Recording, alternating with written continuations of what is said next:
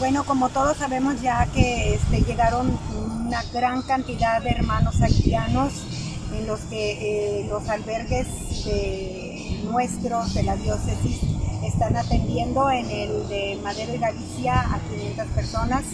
Y en el de eh, la calle Arteaga junto a la iglesia de Nuestra Señora de San Juan están atendiendo aproximadamente entre 200 y 250 personas, mujeres y niños. Entonces, eh, la necesidad es mucho, sabemos que hay muy buena respuesta por parte de las parroquias que están atendiendo eh, un alimento del día. Eh, sin embargo, el padre Marvin pues, está muy preocupado, hace mucha falta artículos de limpieza, es muchísima la gente.